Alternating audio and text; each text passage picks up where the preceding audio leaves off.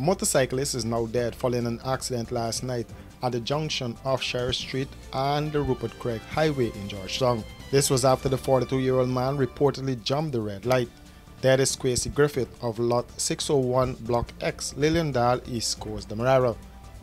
That accident involved motor car PAB 5158 and a blue motorcycle bearing registration number CK7323 owned by Griffith.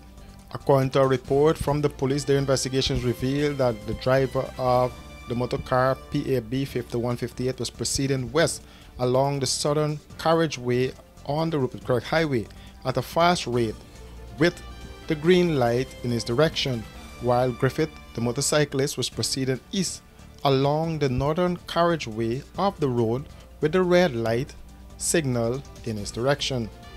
The police release explained as both drivers approached the junction of the Rupert Craig Highway and Sheriff Street, the motorcyclist breached the traffic light signal and turned right onto Sheriff Street into the path of the driver of the motorcar. This resulted in the left side portion of the motorcar coming into contact with the motorcyclist who was flung some distance into the air and then onto the road surface where he received injuries about his body.